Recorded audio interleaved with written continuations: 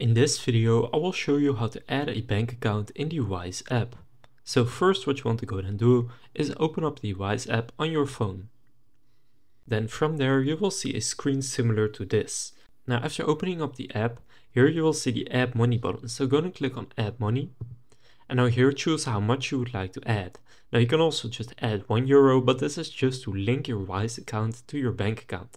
Now, for example, I will select 10 euros and where it says paying with right here, for me right now it's set to iDEAL. So I'm going to click change and make sure that it is set to a bank transfer or a manual bank transfer. Now in this case, I will pick a bank transfer and now you will see that there are no fees and now just going to click continue.